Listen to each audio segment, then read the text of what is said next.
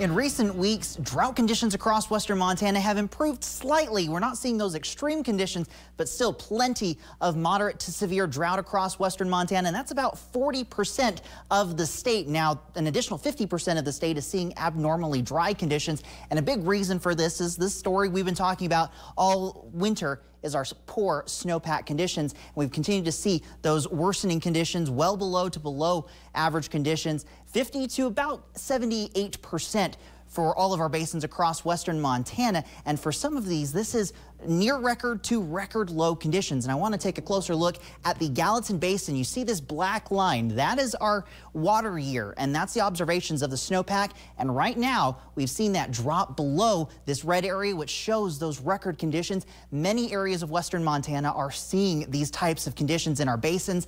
For the Gallatin Basin, it's about 67% of average, and we're about seven days to the median snow water equivalent peak but many of our basins have already reached that, unfortunately. So I'll have more details about this current storm system coming up here in about five minutes.